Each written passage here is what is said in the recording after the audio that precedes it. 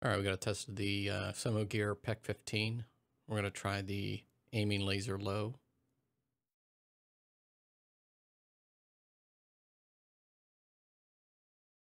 Pretty decently bright.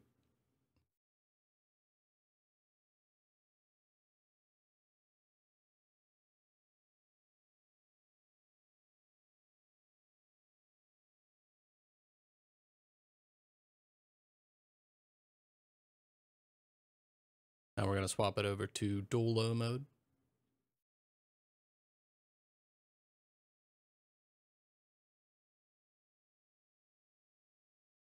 See up close, it's got pretty decent illumination.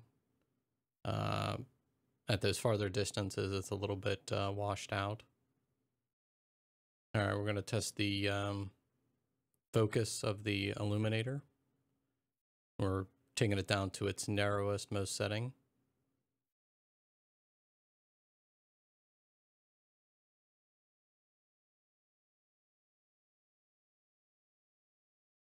All right, this is the aiming laser high.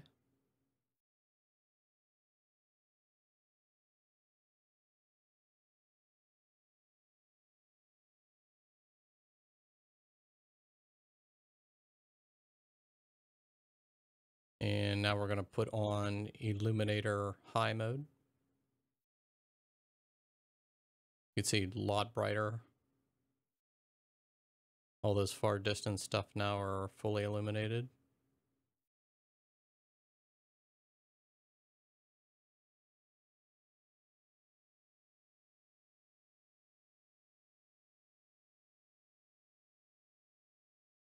Now we got dual mode high.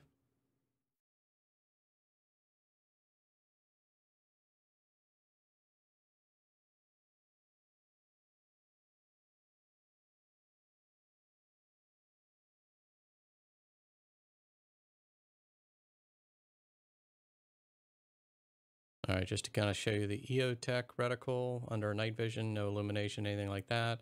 Now, when I got the uh, Gear PEQ 15, I uh, zeroed it back at this distance right here. I just co-aligned the uh, the center of the EOTech reticle with the Gear infrared laser. And you can kind of see there, it's got a little bit of a shift after doing some uh, firing. It's uh, a little bit high and left. We're going to actually try to do this adjustment. It's kind of uh, difficult doing this, but get the one set in. You can see now we're back in alignment uh, horizontally, and then we'll swap to the uh, vertical and get that done. And pretty close now. Um, again, this is a gun that's more for definitely sub 100 yards, so uh, good enough.